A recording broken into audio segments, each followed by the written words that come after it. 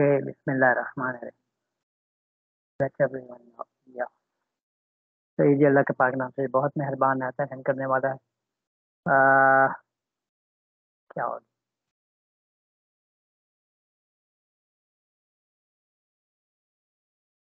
हम्म। सही है आप लोगों को आवाज़ आ रही है मेरी? जी सर आ रही है आवाज़। सही है मेरे लिए थोड़ा कंसर्न यही था कि आप लोग मेरा पिछला सेशन देख पाते हैं, नहीं देख पाते तो डिस्कशन होता है, नहीं होता इसलिए कि वो बिल्कुल बेसिक सेशन था, वो कुछ चंद रियलाइजेशन थी जो मैं चाहता था कि हमें बड़ी ज़रूरी है आने। हम जिस तरह आपने अभी बोला कि हम यहाँ वहाँ देखते रहते हैं, हमारे जहन में भी स्कूल भेजना है या मदरसे भेजना है और उस लिहाज लेकिन हम जो जिस चीज़ पे कभी गौर ही नहीं करते कि क्या स्कूल और मदरसा है भी सही चीज़, सही जगह जहाँ पे अपने बच्चों को हम भेजें।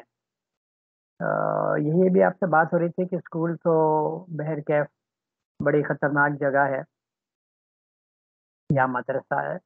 ख़ास तौर पे जो आप मदरसे का ज़िक्र करी थी कि स्कूल में अपने बच्चों को उन्होंने डाला है। किसी वजह से तो वो आ, अगर हमारा कंसेप्ट क्लियर ना हो और आखिरत की फ़िक्र ना हो फिर हम ये सब काम कर सकते हैं।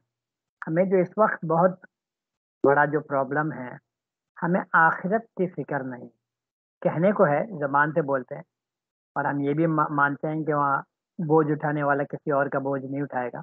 हमें पूरी अपनी खुद ज़िम्मेदारी देनी लेकिन हमें शैतान ने ऐसी तकलीद में डाल दी है। ऐसा मुकलद बना दिया है कि हम आँख बंद करके ज़माने को फॉलो कर आँख बंद करके। और हम ये रियलाइज़ भी नहीं कर रहे कि हम किस रास्ते पे जा रहे हैं और आखिरत में इसका क्या नतीजा निकलेगा। मरना तो है, बे, क्या? मैंने भी आपको किस्सा सुना है अपना। तीन दिन पहला किस तरह अल्लाह ने बचा लिया मुझे। वो गाड़ी जो है वो यानी बिल्कुल मेरे पैरेलल थी और वो आती, अगर मैं एक सेकंड भी पीछे होता तो वो मेरे ऊपर मुझे डायरेक्टली आके मारती, ड्राइवर साइड। लेकिन ये है कि वो उस वक्त अल्लाह ने मेरी मौत नहीं लिखी थी या नुकसान नहीं लिखा था तो वो पीछे से मिस होकर चले गए। तो ये सबसे बुनियादी चीज़ जिसकी हमें फ़िक्र करनी चाहिए है, वो ये है कि आखिरत में हमारा क्या बनेगा? इसलिए कि आखिरत में या तो हमेशा की जन्नत होगी, या हमेशा की दोजा लालेकुम सबा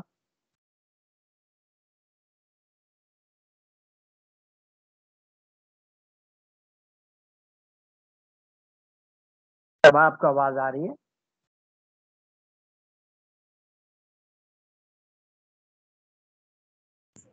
जी जी, सर, आपकी आवाज़ आ रही है।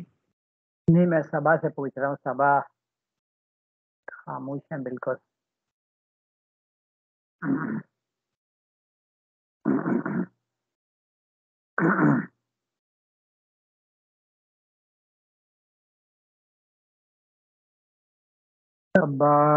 आई भी तो है।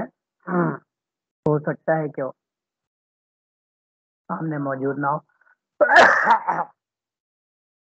आप ये सोचिए, जिस तरह मैंने पिछली बार बोला था,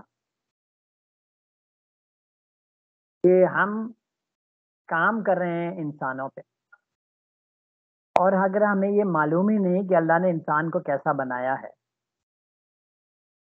इंसान किस तरह सीखता है, अल्लाह ने इंसान में क्या सिफात पैदा की हैं, लर्निंग के लिहाज से या तरबिया के लिहाज से हमें सिर्फ़ यही नहीं कि मालूम नहीं है, हम गलत मफरूदों पे अगर काम कर रहे हो। जिस तरह इस वक्त जिस तरह इस वक्त जो है, हम स्कूल की तालीम को लेते हैं और इस तरह लेते हैं कि जिस तरह वो जो स्कूल है वो, आप बोलिए कि वही सही निज़ाम है। और जब हम देखते हैं कि मगरब जो है इंसान को जानवर समझता है तमाम इंसानों जानवरों की जरूरतें हैं। जिसकी वजह से हम देखते हैं कि मगरब जो है यानी जो लोग तैयार हो रहे हैं जानवर की सिफात के साथ पैदा हो रहे हैं। जिनमें दिल की कमी है जिनमें फ़िक्र की कमी ठीक है तो आप अगर उस निज़ाम को फॉलो करते हैं तो मेरा ये ख्याल है कि हम बड़ी बड़ी मुश्किल में अपने आप को डालते हैं अल्लाह के अल्लाह के सामने जो है हम जवाब नहीं दे सकेंगे कि हमने अपने बच्चों को क्यों तबाह स्कूल में डाला। क्या ख्याल है सबा जी सर। तो बेसिक तो फ़िक्र है अगर हमें फ़िक्र नहीं डेवलप होती तो हम जो कुछ करते फिर। ठीक है और अब फिर हम फ़िक्र से हमारा अमल बदलता है ना? जी जी। फ़िक्र में सबसे पहले जो मैं बोलता हूँ कि आखिरत की फ़िक्र करें कि आखिरत में आप अल्लाह के सामने बिल्कुल जब अकेली खड़ी होंगी तो आप जवाब क्या देंगे? कि आपने स्कूल में क्यों डाला था? अच्छा अल्लाह तो दुनिया में सभी लोग स्कूल में डाल रहे थे तो हमने भी स्कूल में डाल दिया। तो क्या अल्लाह ये जवाब मान लेंगे कि अच्छा चलो तुम्हारा कसूर नहीं है तो दुनिया का कसूर। अल्लाह तो नहीं मानेंगे ना, ये जहन भी बोलता है कि अल्लाह नहीं मानेंगे। जी सब आप कुछ बोल रही हैं? जी सर मैं एक बात कहना चाह रही थी। आ, अभी हमें पिछले दिनों एक पता चली है चीज़ ना कि मार्क ट्वेन का सर एक कोट है कि if you are on the side of majority then that's the time to stop and think जी जी बिल्कुल सही। असल में तो कुरान का भी कहना है कि हमेशा मेजोरिटी में लोग जो है बहके रहेंगे और बहके रहे। हैं ठीक है अल्लाह बोलते कि मुझे कोई फ़िक्र नहीं है, तुम लोग सब बहक जाओ, तुम लोग सबको मैं दो में डाल दूँगा। दिन और इन से दो को भर दूँगा। अल्लाह को कोई फ़िक्र ही नहीं अल्लाह क्यों फ़िक्र करे? अल्लाह ने जब बात अपने सामने रख दी है हमारे, और हमें तमाम जराए दे दिए हैं, और हमें अकल और समझ भी दे दी है, आखिरी किताब हमारे हवाले कर दी अल्लाह रब्बुल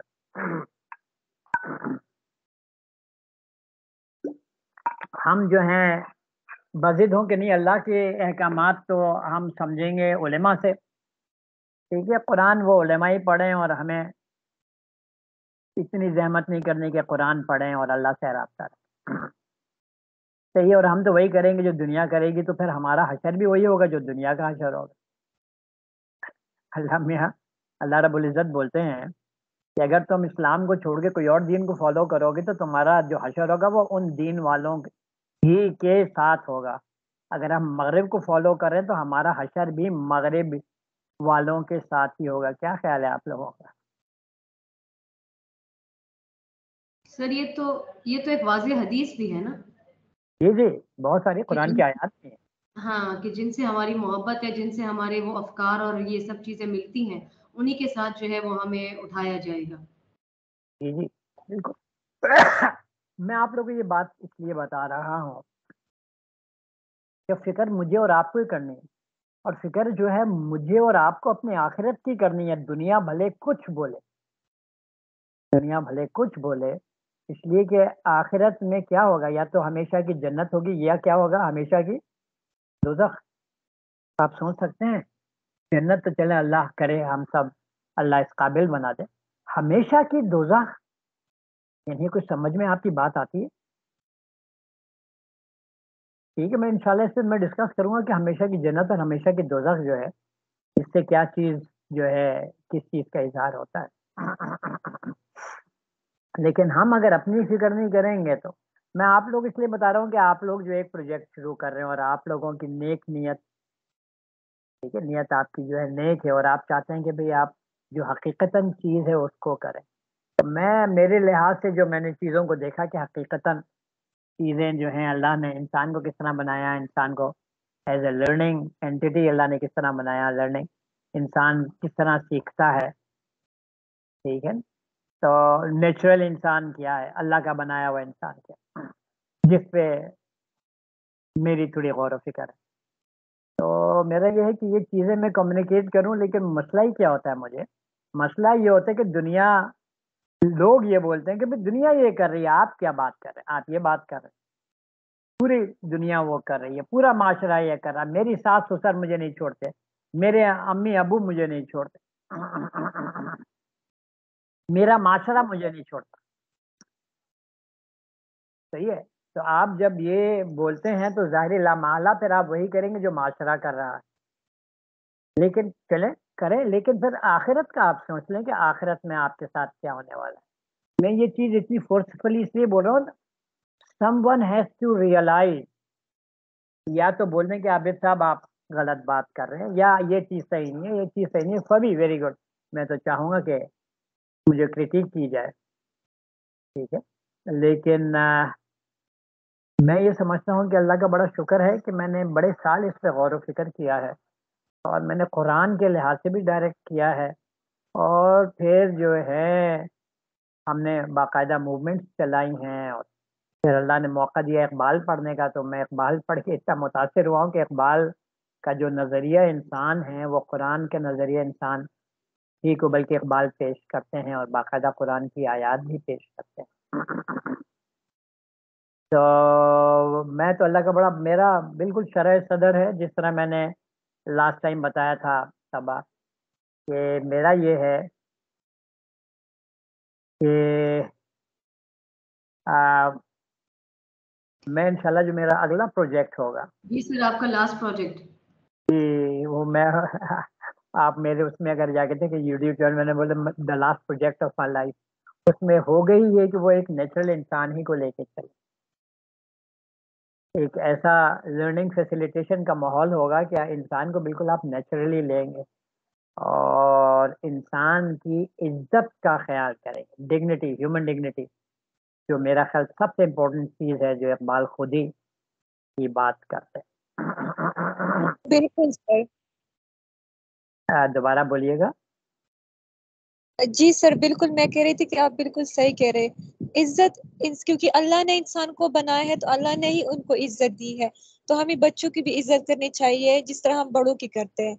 हर इंसान ये डिजर्व करता है, क्योंकि अल्लाह ने हमें इज़्ज़त दी है। अभी आप सोचिए, आप लोग सबसे ज़्यादा अनकंफर्टेबल कहाँ फील करते हैं, जहाँ आपकी कोई इज़्ज़त पे हमला कर रहा होता है? वो आपका स्पाउस ही क्यों ना हो, वो आपका उस्ताद ही क्यों ना हो, वो आपका दोस्त ही क्यों ना हो? सबसे ज़्यादा इनकम्फर्टेबल आदमी जो डिस्टेबलाइज होता है, वो उस वक्त होता है जब ह्यूमन डिग्निटी पे ज़रबें लगाई जा रही है। ठीक है? फिर आप जाइए, चले हजूर के ज़माने में जाइए। हजूर क्या करते थे? हजूर ने एक मदरसा खोला हुआ था, जहाँ हर रोज़ ला, शाम को बुला के लोगों को जो है या दिन में जो है पाँच छः घंटे पढ़ाया करते थे लंबे लंबे लेक्चर दिया करते थे। क्या ख्याल? कहीं से साबित है ये? कहीं से साबित है कि हजूर जो है नो सर।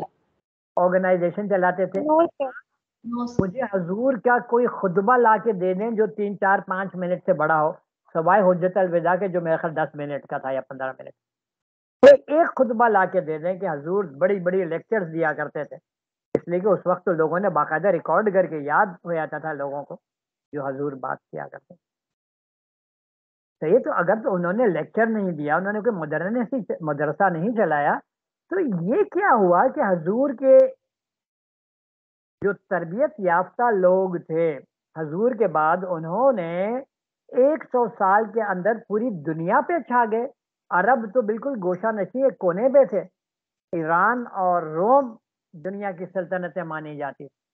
अरब तो कुछ भी नहीं थे, वो तो बिल्कुल एक, जिनको वैसी बोलते हैं सिक्लूडेड कौम।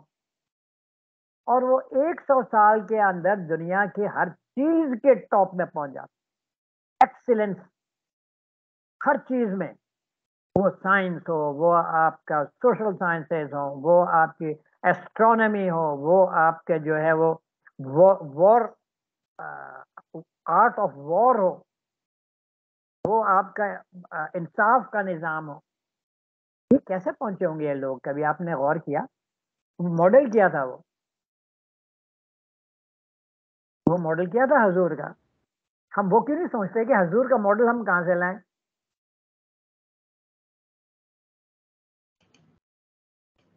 हजूर का मॉडल हमें कहाँ से मिलेगा? हमें तो एक ओलेमा मॉडल दे रहे। आप उसको लेकर हजूर के मॉडल से कंपेयर करें। अगर वो सही है तो सभी एक्सेप्ट करें। सर डायरेक्ट कुरान और सुन्ना से अखज करना होगा। देखिए, सबसे पहली बात यह कि आप गौर फ़िक्र करें कि हजूर के ज़माने में हो क्या रहा था। आपको ये चीज़ तो मुझे बिल्कुल छोटी उम्र में बता दी गई थी कि हजूर सल्लल्लाहु अलैहि वसल्लम इज़्ज़त नफ्स का बहुत ज़्यादा ख्याल करते इज़्ज़त नफ्स जो ह्यूमन डिग्निटी है, वो छोटे बच्चे से भी तमीज से पेश आते थे हजूर। है ना? वो हज़रत अनस बिन मालिक की जो लोग कोट करते हैं हदीस के, दस साल में हजूर की खिदमत में रहा और उन्होंने उनसे उफ तक मैंने नहीं सुना। दस साल। अमेजिंग वो क्या चीज़ दिखाता है? हजूर के नज़दीक ह्यूमन डिग्निटी वॉज़ फ़र्स्ट वो अपने दुश्मन की डिग्निटी का भी ख्याल करते थे। वो जानवरों की डिग्निटी का भी ख्याल करते थे। और आप खुद सोचिए कि हजूर के दुश्मन उनके दोस्त बन जाते थे। इस्लाम कबूल कर लेते थे। आपने तो बहुत सारे किस्से सुने होंगे। सर हम तो आजकल बच्चों को भी शैतान बुलाते कि ये शैतान है। अल्लाह अपने पनाह में रखे। तो हजूर की जो सबसे स्ट्रॉन्ग सिर्फ़ थी वो ह्यूमन डिग्निटी का ख्याल था। ये नहीं था कि हजूर को नफली तौर पे ये काम करे थे। उनके सामने बिल्कुल ये चीज़ वाजा थी। कि अल्लाह के नायब की इज़्ज़त नफ किसी हालत में भी मजरू नहीं होनी चाहिए। वो जिस तरह आप लोगों ने बताया कि इज़्ज़त साथ लेकर आया इंसान। ठीक है, अभी भी आप जिस माहौल में ह्यूमन डिग्निटी का ख्याल करेंगे, वहाँ आप देखेंगे लोग वहाँ के खुश होंगे, लोगों के जहन खुलेंगे। लोग जो हैं, वो अपने नेचुरल सिफ्ट की तरफ़ वापस आएँगे। और जहाँ आपने ह्यूमन डिग्निटी में जरबे लगानी शुरू की, वो टीचर की हालत में स्टूडेंट से बदतमीजी हो, या इम्तिहान का निज़ाम हो, या डिसिप्लिन के नाम पे सजाएँ हो, वहाँ तो आदमी बुझ के रह जाता आप अपने स्कूल के ज़माने की सोचिए वाकया। जहाँ आपके डिग्निटी पे कोई हमला कर रहा हो, वो आपको नहायत ही नागवार गुजरता है। आप बहुत बुरी तरीके से डिस्टेबलाइज हो जाते हैं। अपने इदारों में भी जहाँ आपसे कभी किसी ने बदतमीजी की तो आपको बहुत बुरा लगता है। यानी एक किस्म से आप जो है डिस्टेबलाइज हो जाते हैं। क्या ख्याल है आपका? कोई है आप लोगों की ऑब्जर्वेशन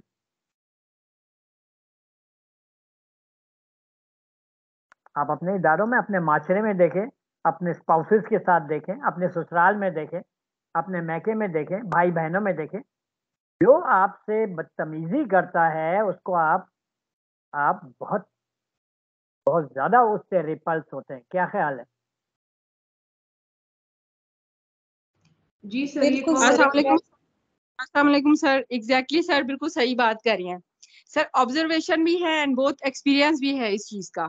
तो इस चीज़ का एक्सपीरियंस भी है कि वाकई सही बात है। Exactly hundred percent two hundred percent दुरुस्त बात है ये।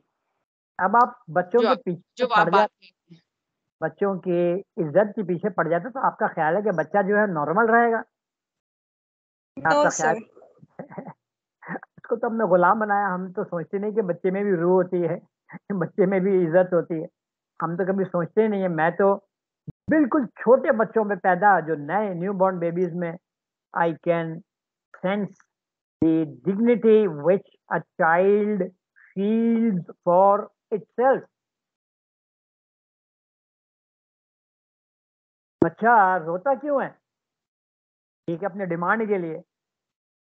भूख लगी है भाई, दूध रोना शुरू किया और आप उसकी तरफ़ ध्यान ना दें, फिर उसकी वॉल्यूम बढ़ती चले जाती है। उसका प्रोटेस्ट ज़्यादा स्ट्रांग होता चला जाता वाई इज़ दैट ठीक है ना? आई फील कि वो बच्चा बोलता है कि भाई आई है I have a need and I am announcing and I am asking you to fulfil my need लेकिन आप जो है मेरी तरफ़ ध्यान ही नहीं दे रहे। वो अपनी जो है मेरे नज़दीक वो अपनी डिग्निटी को हर्ट फील करते या आप छोटे बच्चे को ले लें दो तीन महीने के। आप हल्का सा उसको यहाँ हाथ लेकिन सर मेरा क्वेश्चन है कि हर एक नीड तो हम फुलफिल नहीं कर सकते ना बच्चों के। तो उसके लिए फिर क्या करना चाहिए? इंशाल्लाह आगे हम चल के आप डिस्कस करेंगे। नीड जो है ना, जो बेसिक नीड होती है, अल्लाह ने अल्लाह ने जो है नीड्स डिफाइन की हुई हैं और लोगों को मालूम होता है कि बेसिक नीड्स क्या है। बेसिक नीड जैसे हजूर का बोलना ना कि फितने में ना डाले कि हमारी बेसिक नीड्स भी पूरी ना हो। ठीक है तो बेसिक नीड जब इंसान की पूरी होती हैं तो फिर आपकी दूसरी वांट्स शुरू होती हैं। भाई ये भी होना चाहिए मेरे पास ये। लेकिन जो बेसिक नीड्स हैं, वो बड़ी इम्पोर्टेंट है। वो मैं जिसमें सबसे जो अहम नीड है, वो है आपकी रेस्पेक्ट सेल्फ रेस्पेक्ट सबसे अहम नीड मेरे नज़दीक जो है सेल्फ रेस्पेक्ट है। वो छोटा बच्चा हो या बड़े अफराद हो, सबको जो है वो, उनकी जो सबसे मैं बुनियादी नीड समझता हूँ, वो सेल्फ रेस्पेक्ट को समझ। बहर क्या मैं कुछ चीज़ें आपसे शेयर करना चाहूँगा? सर मेरा एक सवाल है। अगर आप जो शेयर कर रहे हैं उससे पहले या आप देख लें आप किस तरह उसको आंसर करना चाहेंगे कब? सर ये आपके साथ कभी कभी इस तरह ज़िक्र हुआ था लेकिन फुल वो मुझे क्लियर नहीं है। मैं चाह रही थी कि अगर इस क्वेश्चन के ज़रिए बाकी लोगों को भी इंशाल्लाह ये इन्फॉर्मेशन मिल जाए मेरे समेत कि जो हम सर कहते हैं कि मुसलमानों ने शुरू में बहुत एडवांसमेंट्स की थी और अब जो है वो एक तरह से एक जमूत का शिकार है। मतलब हम लोग बिल्कुल स्टेगनेट हो गए हैं। तो सर वो कितने अरसे का पीरियड था मुसलमानों का शुरू में? और उसकी क्या वजह थी बुनियादी? हर डिसिप्लिन में मुसलमान आगे थे हर फ़ील्ड में ना? एल्जबरा या मैथ्स वो भी मुसलमानों ने इन्वेंट किया था इस तरह की बहुत सारी चीज़ें मेडिसिन में भी जैसे वो हो गए मुझे उनका नाम भूल रहा है जिनकी किताबें 700 साल तक गालिबन यूरोप में पढ़ाई भी जाती थी। तो सर, जी, वो अली सीना। तो सर, ये ये ये ये कौन सा पीरियड था सर ये हिस्ट्री में? तब मैं आप लोग, आपसे कुछ चीज़ें चाहूँगा कि रियलाइज़ करें। कि हम लोग असल में कंफ्यूज हो जाते हैं। हम बोलते हैं कि 800 साल गोल्डन एज ऑफ़ 800 इयर्स लेकिन आप फिर उसको एनालाइज करें कि was that really a golden age from all perspective या सिर्फ़ हम साइंस और मटेरियल डेवलपमेंट के लिहाज से बात कर रहे हैं। या बारहवीं सदी में जब मंगोल आते हैं उस वक्त की हमें हिस्ट्री मिलती है कि मुसलमान किस किस्म के मसाइल में घिरे हुए थे। छोटे छोटे फुरुई मसाइल में पड़े हुए थे। इजेंट इट ये आपने पढ़ा होगा हिस्ट्री में। ठीक है तो आपकी बारहवीं सदी का मतलब है कि पांचवी पाँच छः हजूर के पाँच छः सदी के बाद ठीक है? हाँ आठ सौ साल आपके पास पावर रही। नंबर वन आप दुनिया के सिविलाइज एरियाज़ पे काबिज रहे और आप तमाम साइंस की फ़ील्ड में या फलसफे की फ़ील्ड में आपने डोमिनेट किया प्रोएक्टिवली लेकिन क्या हमारी जो उस वक्त ईमानी हालत थी, क्या वो भी कंपैटिबल थी? इस गोल्डन एज के, या हम जो हैं ईमानी तौर पे बहुत करप्ट हो गए थे और बड़ी तेज़ी से करप्ट हो रहे थे। ये हमें रियलाइज़ करना चाहिए। हमें असल में बहुत कंफ्यूजन में डाला हुआ है। उनसे बोलते हैं कि अंग्रेज़ों के आने से पहले everything was very good in India बचपन में पूरी कोशिश की हमारे साथ ने। बताने की कि मुगल ज़बरदस्त किंगडम थी। मुगल एम्पायर बड़ा ज़बरदस्त जस्टिस था क्या वो मुसलमान भी थे या इस्लाम के लिहाज से वेयर डिड दे स्टैंड हमें से कम ही लोग और करते हैं। अब हमें ये मालूम हुआ कि नहीं भाई वो, वो, तो अयाश, वो तो बहुत अयाश थे ना। इस्लाम से जैसे अकबर ने तो दीन इलाही बनाने की कोशिश की थी। जी जी मैं आपको एक किस्सा सुनाता हूँ। कि जब मैं पीएचडी करके आया मलेशिया से तो यहाँ पे मैंने जो इस्लामिक एजुकेशन अपने आप को कहते थे उनको मैंने दावत दी और उनके लिए मैं सेशंस कराता था। हमारी बेसमेंट थी कराची के घर में। तो वहाँ पे वो आते थे और मैं तकरीबन हफ्तावार जो है सेशन कराता था। तो वहाँ पे एक साहब थे जो बहुत ज़्यादा उनकी जो है वो बोलिए कि वाह वाह होती है कि उन्होंने ज़बरदस्त स्कूल है और ये कराची में ये। तो उन्होंने बोला कि भाई मुझे वो निज़ाम तालीम मिल गया जो 200 साल पहले यहाँ पे राइज था, इंडिया में राइज था मुसलमानों। और मैं उस लिहाज से अपना स्कूल चलाना शुरू कर दिया मैं तो मैंने उनसे एक सवाल पूछा कि अच्छा ये बताइए कि 2000 साल पहले क्या हमारा ग्राफ मुसलमानों का ऊपर जा रहा था या नीचे जा रहा था? तो थोड़ा सोचा उन्होंने बोला, नीचे जा रहा था। मैंने बोला, आप वही निज़ाम तालीम में दोबारा आप लाना चाहते तो उन्होंने रियलाइज़ किया। उन्होंने बोला हाँ बात सही बोल रहा बहर क्या, वो फिर हमें मिले कुछ अर्से बाद। बोलने लगे, नहीं नहीं नहीं अब मैंने हजूर का तरीक़ा तालीम, वो हमने, मैंने दरियाफ्त कर लिया है। और अब अपने इदारे को जो है, मैं हजूर सल्लल्लाहु अलैहि वसल्लम की तरबियत तरीक़ा तरबियत तालीम तो फिर मैं और सलमान थे हमने उनसे रिक्वेस्ट की कि अच्छा बड़े ज़बरदस्त बात है। हमसे ही अपने डॉक्यूमेंट शेयर कर लें।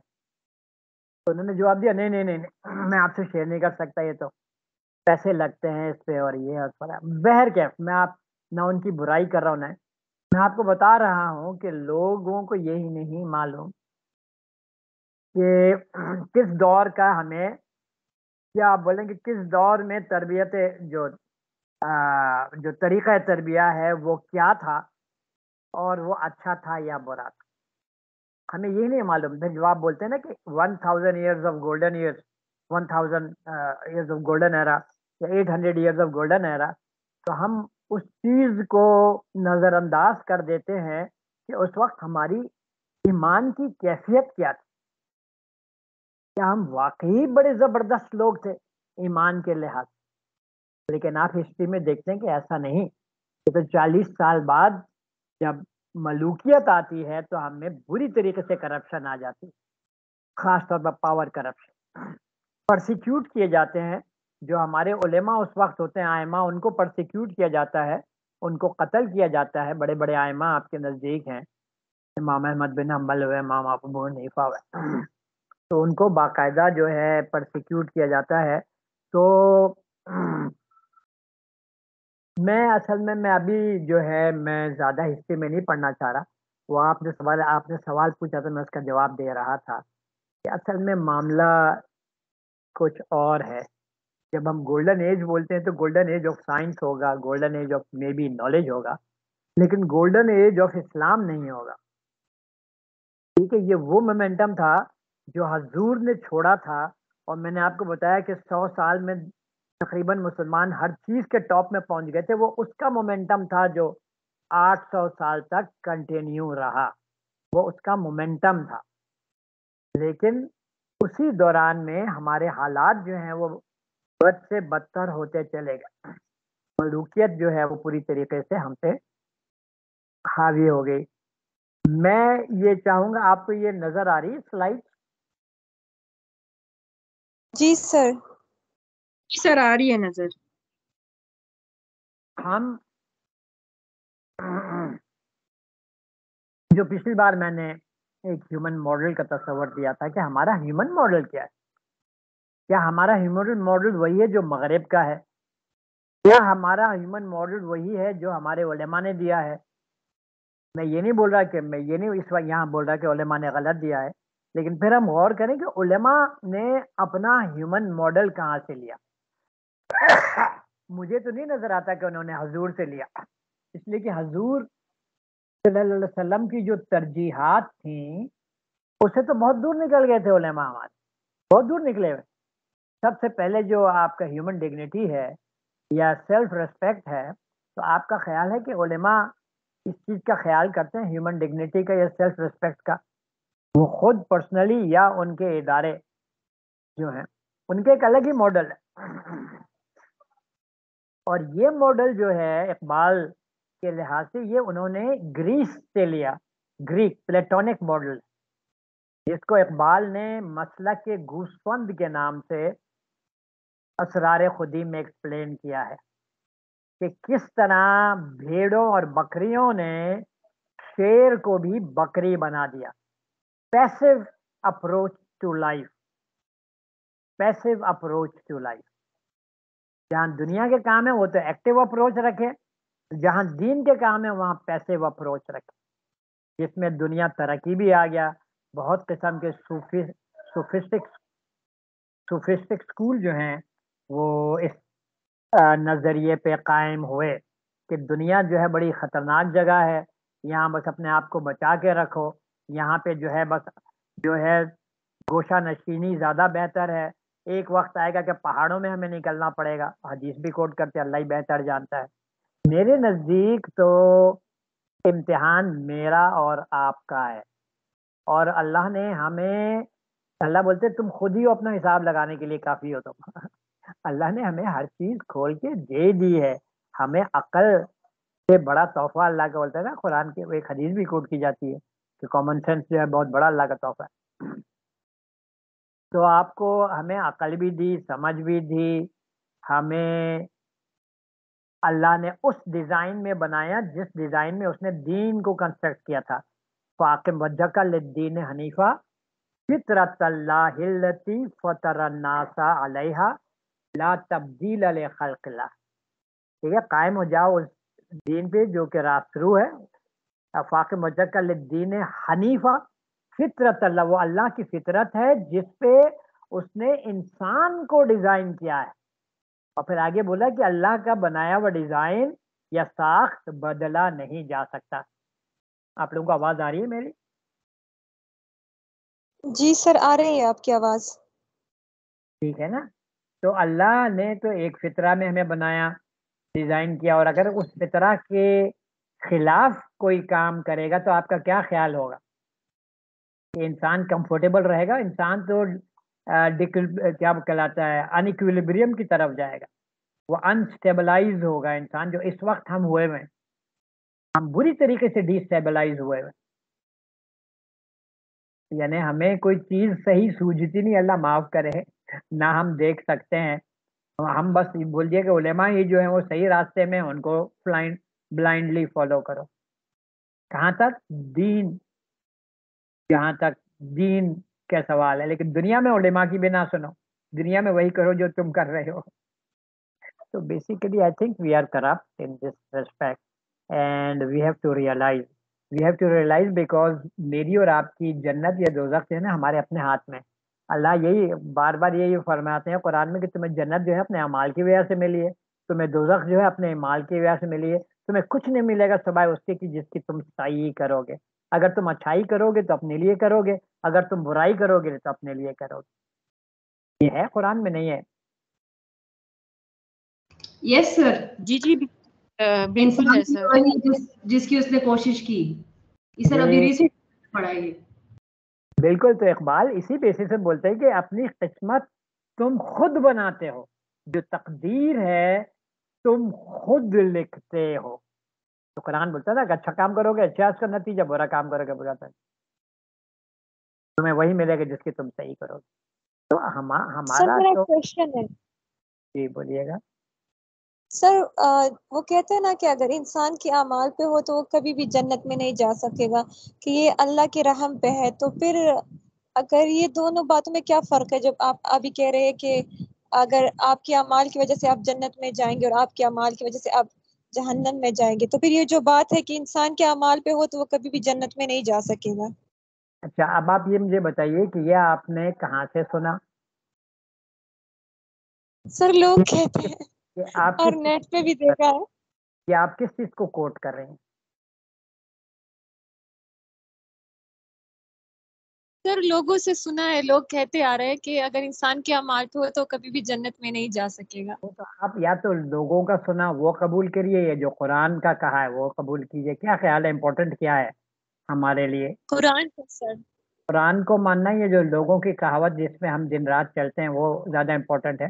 खैर लोग तो हदीस भी कोट करते हैं सिलसिले में लेकिन जब कुरान इतना क्लियर है कि तुम्हें वही मिलेगा जिसकी तुम सही करोगे अगर अच्छाई करोगे अपने लिए करोगे बुराई करोगे अपने लिए करोगे कुरान बार बार बोलता है तुम्हें जन्नत तुम्हारे अमाल की वजह से दी जा रही या तुम्हें दोजख तुम्हारे अमाल की वजह से दी जा रही ये कुरान ने क्यों बोला होगा अगर लोग जो बोलते हैं वो सही है? जी सर बिल्कुल। जी सर। ठीक है ये सब जो है ना ये ये जो फलसफाई घूसफंद के हम पैरोकार हैं। ये लोग फलसफाई घूसफंद के पैरोकार है जो कुछ करना नहीं चाहते।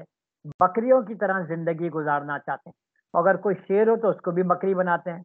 अभी तो आपने देखा कि हम भी शेरों को बकरियाँ बनाने की कोशिश कर रहे हैं। पॉलिटिकल अरेना में तो वह क्या, मेरा बताने का मकसद ये है कि पूरा हमारा जहन हमारा सोच जो है वो तब्दील कर दी गई है। और वो इस्लाम के नाम पे उलेमा ने इल्म के नाम पे तब्दील की है और वो ऐसी ऐसी अहादीस निकाल के ले आए जो कुरान के बिल्कुल खिलाफ। और वो उस हदीस पे ईमान लाते हैं, कुरान को नज़रअंदाज कर देते तो क्या ख्याल है, कोई छोटा सा जुर्म है? अल्लाह माफ़ कर देंगे, कुरान को फॉलो नहीं किया, भाई हमने लोगों को फॉलो कर लिया या हदीस को बगैर सोचे समझे कि हजूर ऐसी बात कह भी सकते हैं कुरान के खिलाफ। अल्लाह से नहीं माफ़ करेंगे ना। हमें सोचना चाहिए। बहस है आपको देखिए कि जो मगरब का मॉडल है, उसने अपने जो उसके तस्वर इंसान है, उसके गिर डेवलप किया है, अपने तालीमी मॉडल अपना पॉलिटिकल मॉडल अपना इकोनॉमिक मॉडल अपना कमर्शियल मॉडल सोशल मॉडल वो सब उसने अपने तस्वर इंसान के गिर्द कायम किया है। ज़ाहिर बात है, कुरान को तो मानते नहीं ना वो। ठीक है? हमारे पास कुरान है, हमारे पास अकल है, हमारे पास नेचर, अल्लाह ने नेचर को ऑब्ज़र्व करने के लिए हमें आँखें दी हैं, हमें समझ दिया है, हमें दिल दिया है। ठीक है? अगर हम वो इस्तेमाल ना करें और आँख बंद करके या तो लोगों को फॉलो करें या इन उलेमा को, मैं उलेमा को बुरा भला नहीं कहता। लेकिन कुरान में कहीं लिखा ही नहीं कि उलेमा को तुम फॉलो करो। कुरान में आप बता दिए कहीं लिखा ठीक है, जब मसाल के तौर पे आप एस्ट्रोनॉमी पढ़ रही हैं, आपको कोई मसला पेश आएगा तो आप किसी एस्ट्रोनॉमर के पास जाके देखेंगी कि उसने क्या बोला है, इसके बारे में क्या बोला है। तो फिजिक्स का सवाल हुआ किसी फिजिसिस्ट के, से आप मशवरा करेंगी या उसके जाके इल्म, उसके किताबों में देखेंगे। ठीक है, इसी तरह ठीक है, जो कुरान की तफासिर की गई हैं, वो तो तफसीर आपको कहीं हुआ आप जाएँगे, आप जाके देखेंगे भाई अच्छा फला आलिम ये बोल रहा है इस चीज़ के बारे में अच्छा ये भी हो सकता है। फला आलिम ये बोल रहा है अच्छा भाई, ये भी हो सकता है। ठीक है ना? लेकिन वो आपके ऊपर दरोगा नहीं बनाए गए। वो आपके ऊपर दरोगा नहीं बनाए गए। सबसे इम्पोर्टेंट चीज़ें जो हैं, वो दो तीन चीज़ें एक नेचर है, जो ऑब्ज़र्व कर सकते हैं, जो आप महसूस कर सकते हैं। दूसरी चीज़ कुरान है, जो अल्लाह का कलाम है, अल्लाह के अहकाम वो गलती हो ही नहीं सकती। अगर आपने ये सोचा कि कुरान में गलती हो सकती है तो हम फिर मुसलमान ही नहीं रहेंगे। तो तीसरी चीज़ जो है, वो कॉमन सेंस है। अकल नहीं इस्तेमाल करते। कुरान क्यों आपसे पूछा कि अकल नहीं इस्तेमाल करते? अगर अकल इस्तेमाल करना हमारे लिए ख़तरनाक है। तो इन चीज़ों को हमने छोड़ दिया है। बहर कैफ आपको बताना यही मकसूद था कि देखें, आप जिस किस्म का मॉडल लेंगे, उसी किस्म का सिस्टम बनाएँगे। ठीक है? अगर इंसान को मुसलमान को बकरी लेंगे तो फिर आप बकरी नुमाई, बकरी के लिए सिस्टम बनाएँगे। वो बोलते हैं कि भाई, इंसान को ज़बरदस्ती पढ़ाना पड़ता है। इंसान को ज़बरदस्ती सज़ा देनी पड़ती है अगर सज़ा नहीं देंगे, इंसान पे जो है खौफ तारी करना पड़ता है, नहीं तो वो मानेगा नहीं। वो तमाम चीज़ें छोड़ देगा। इंसान पे आप भरोसा नहीं कर सकते। अगर आप उसको इख्तियार देंगे तो वो गलत काम करेगा। सही ये आजकल के मैं आपको, उलमा ही की तालीमत बता रहा हूँ, जो उनकी सोच है। जो उनका अप्रोच है, आप मदारस जाके देख लें। आपको मालूम हो जाएगा कि किस फलसफे पे के तहत जो है वो चल रहे हैं। मसला ये है कि हमें मालूम कैसे होगा कि भाई असल इस्लाम का मॉडल या कुरान का मॉडल इंसान क्या है? ये चंद चीज़ें हैं जो मैं आपको चाहूँगा कि आप इस पर गौर कीजिए। ठीक है किस तरह मालूम होगा? जिस तरह इंसान को बोला कि भाई कुरान क्या बोलता है? आ, आ, आ, कुरान बोलता है ला हसनत वला सय्यआ इदफा बिल्लती हिया अहसन फइज़ल लजी बैना का व बैना हुआ अदावत उनका न बुराई नेकी और बुराई बराबर नहीं होती। बुराई को नेकी से दफ़ा करो तो तुम देखोगे जो तुम्हारा दुश्मन है वो तुम्हारा अज़ीज़ तरीन दोस्त बन गया। क्या ख्याल है? ये अल्लाह ने मुबालगा आरई की है। मैंने बड़े सारे लोगों को बोला बोलते कि नहीं ऐसे तो मैंने हमने नहीं देखा। जो कुरान बात बोलता है वो एक सौ फ़ीसदी सही होनी चाहिए या उसमें भी कोई गलती हो सकती है? क्या ख्याल है आप लोग सर उसमें तो गलती की गुंजाइश नहीं है। अल्लाह का कलाम। हाँ एक परफेक्ट हस्ती की तरफ़ से परफेक्ट हस्ती गलत कलाम कैसे दे सकती है? ठीक है तो जो कुरान इंसान को डिफाइन करता है डिफरेंट जगहों डिफरेंट जगहों पर कि तुम अच्छी काम करोगे तो मैं, और तुम्हें इख्तियार दिया कि अच्छा काम करो या गलत काम करो। देखो बुराई की तरफ़ नहीं जाना। देखो फला ना इंसाफ ये नहीं करना। देखो इंसाफ पे कायम रहना, वो बेशक अपने वालदेन और अपने अज़ीज़ अकरबा ही के बोलिए के खिलाफ। तो कुरान तो हमें डिफाइन करता है, हमें बताता है कि इंसान अल्लाह ने कैसा पैदा किया और इंसान क्या गलत किया। फिर ये भी बताता है कि इंसान कमज़ोर पैदा किया गया। कुरान ही बताता है। ठीक है? तो मैं आपको सिर्फ़ ये बता रहा हूँ कि सबसे पहली चीज़ है कि कुरान ने जो इंसान को डिफाइन किया है डायरेक्ट के इंसान इस टाइप का है, इंसान में ये है। ठीक है? वो तो बिल्कुल डायरेक्ट हो गया। दूसरा जो हमें एहसास हो सकता है कि कुरान हमें एड्रेस किस तरह कर रहा है? एक तरफ़ खुदा है जो पूरे जहाँ का खालिक और एक तरफ़ वो इंसान छोटा सा, जो छोटी सी दुनिया में आबाद, इतनी इज़्ज़त अल्लाह उसको दे रहा है, इतना समझा के उससे बातें कर रहा है, इतने दलाइल उसको दे रहा है। आपने गौर किया? क्या क्या ज़रूरत थी अल्लाह को इतने दलाइल देने की? बोलते, मैं दो जूते मारूँगा, मान लो अल्लाह आपको इतनी इज़्ज़त दे रहा है। अल्लाह आपको पूरी तरह समझाने की कोशिश कर रहा है। अल्लाह आपको बार बार वार्न कर रहा है। Does it indicate anything to you कि आपकी कितनी रिस्पेक्ट है? आप कितनी रिस्पेक्ट के साथ डिग्निटी के साथ आप पैदा किए गए? कि अल्लाह रब्बुल इज़्ज़त आपका खालिक जो आपसे है, आपका कोई मुकाबला नहीं है उसके सामने, वो आपको इतनी इज़्ज़त दे रहा है। ठीक है? फिर कोई बोझ उठाने वाला दूसरे का बोझ उठाएगा, अल्लाह ने बोल दिया तुम्हें बिल्कुल अकेला हाजिर होना पड़ेगा। दैट शोज़ कि how much responsibility you have been given फिर अल्लाह बोलते कि मैंने जो ज़िम्मेदारी है मैंने आसमानों, ज़मीन और पहाड़ों को दी, वो डर गए। और उन्होंने इनकार कर दिया। इंसान ने इसको कबूल कर लिया। अल्लाह आपको बता रहा है कि आपके अंदर कितना चैलेंज सीकिंग कितने स्ट्रांगली इनग्रेन कर दिया गया ये सब चीज़ें जो हैं, ये आप खुद सोचिए, कभी हम इस पर गौर करते हैं। आप जो कुरान पढ़े, हर रोज़ मैं पढ़ रहा होता, हर रोज़ मुझे नई नई चीज़ें मिल रही होती है। अल्लाह का शुक्र है, अल्लाह माफ़ करे। तो मसला असल में यही है कि हम क्या अप्रोच लेते हैं। हमने अपने आप को ही इज़्ज़त नहीं दी। हमने अपने आप को ही जो है गलत समझा हुआ है। हम अपने आप को कमज़ोर समझते हैं। जब आप कमज़ोर समझते हैं तो आप कमज़ोर हो जाएँगे।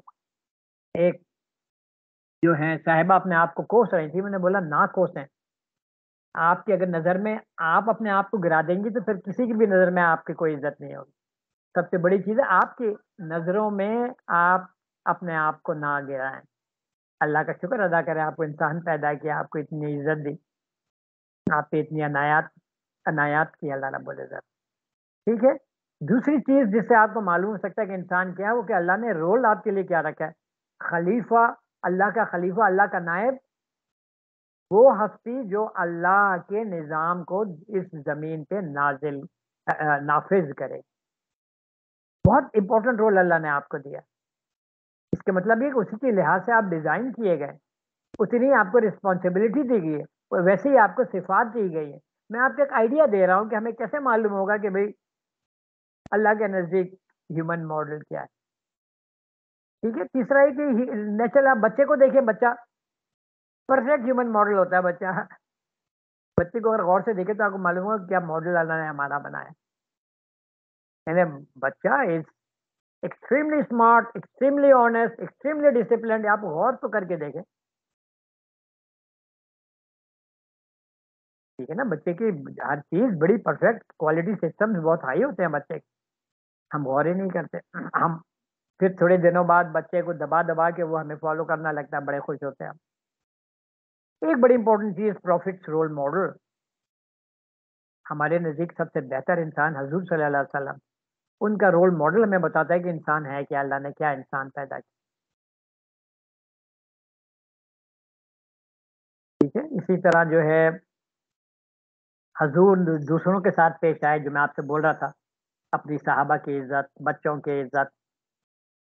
सही है? इसलिए कि ये नहीं कि हजूर कोई नफली काम कर रहे थे।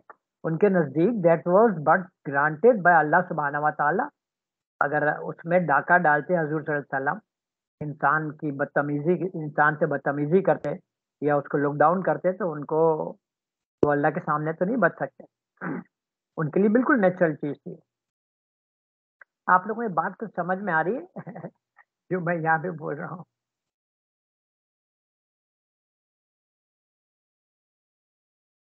जी सर बिल्कुल आ रही है समझ। ज़्यादा शकील बातें तो नहीं कर रहा मैं। नो सर बहुत अच्छा कह रहे हैं आप सर। सही है। इसको आप सोचें आप यूँ ना बोले कि भाई सर ने बात कह दी तो मानना पड़ेगा। नहीं इसको आप सोचें हम लोग असल में अकल लगाने के कम आदि हो गए। आप बड़े जल्दी दूसरे लोगों से मुतासर हो जाते। बहुत सारी मैं भी इंसान हूँ बहुत सारी हो सकता है मेरी ऑब्जर्वेशन सही नहीं है। लेकिन ये चीज़ें मैं आपको बुनियादी दे रहा हूँ ये प्लेटफॉर्म दे रहा हूँ जिसपे आप खड़े होके अपने आप को सोच। हम कहाँ, क्या और कहाँ पहुँच गए हम। सही है या, ये गलत क्यों है? मगरब अगर गलत है तो क्यों है? ये अगर मैं बोल रहा हूँ कि जो हमारा एक जनरल ट्रेंड है उलेमा का, वो गलत है तो वो क्यों है गलत? मैं उसके लिए आपको दलाइल कुछ दे रहा हूँ। ठीक है, मेरा ख्याल आज हम यहीं तक रखते हैं। और मैं चाहूँगा अगर आपके जहनों में जो सवाल आ रहे हैं, वो मुझसे ज़रूर कीजिए। और पूरे आप दो हफ़्ते कभी भी बीच में आप सवाल पूछ सकते हैं। लेकिन ये है कि मैं ये चाहता हूँ कि आप लोग सब जो आपकी टीम है, वो एट पार रहे। यानी मैं ये नहीं बोला कि मुझे मानो, नहीं, बिल्कुल नहीं। लेकिन एट पार रहे नहीं वो सब जो है इन्फॉर्म्ड रहें कि भाई, क्या चीज़ है या क्या बात हो गई या क्या सेशन हो गया या क्या बात कही गई। और मैं चाहूँगा कि आप लोग सवाल ज़रूर करें। आप लोग माशाल्लाह टीचर्स भी हैं और माए भी हैं आप लोग। तो आपके जो जहन में सवाल आते हैं, वो ज़रूर करें मुझसे। ताकि हम जो है फिर एक ही पटरी पे, एक पटरी ना भी तो हम एक ही लेवल पे जो है आगे बढ़े।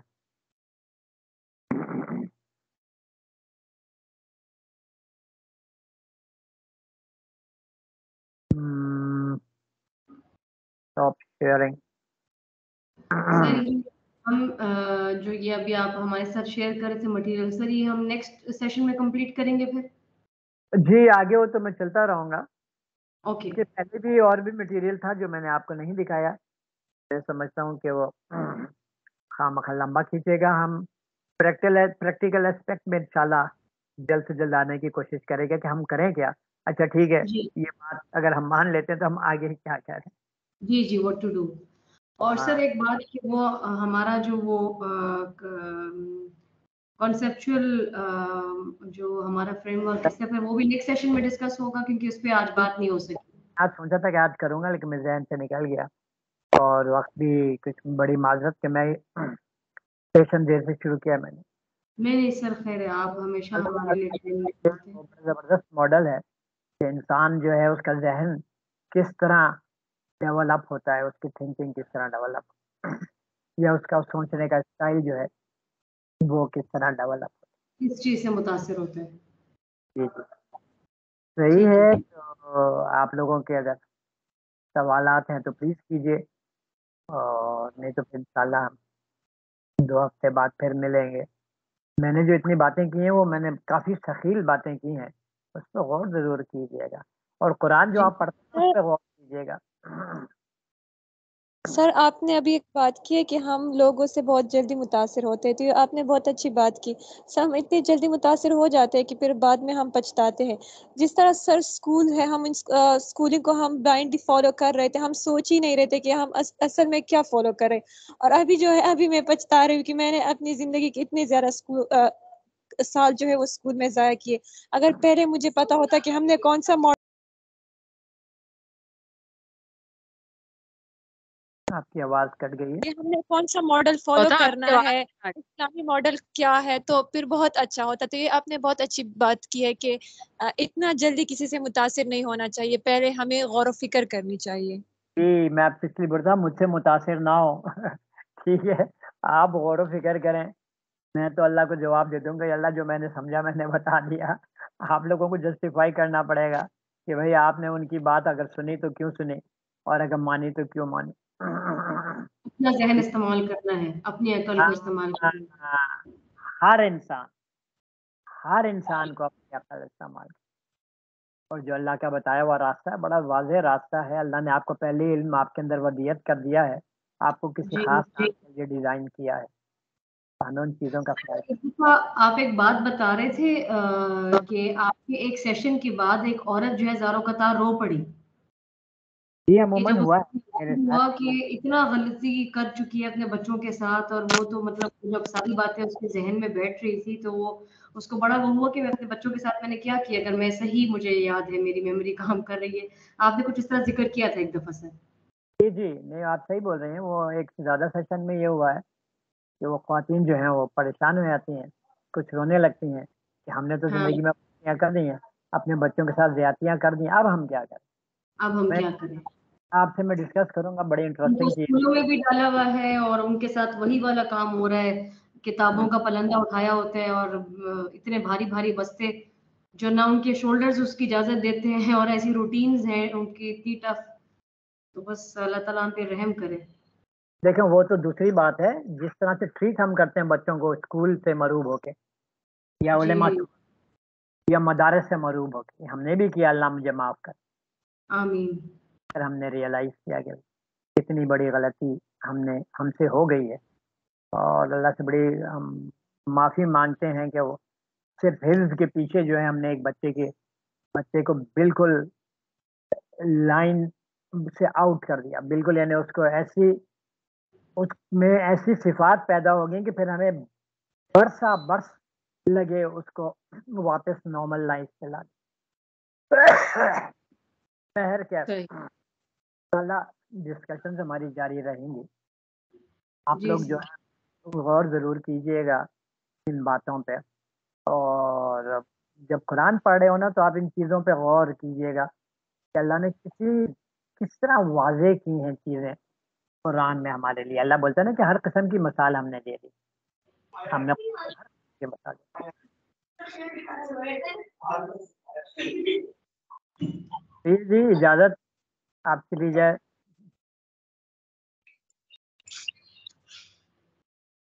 इजाज़त है मैं सेशन ख़त्म करूँ इंशाल्लाह फिर। जी जी सर। जी जी सर जजाकल्ला खैर। ओके जज़ाक। अस्सलाम। वालेकुम वालेकुम अस्सलाम।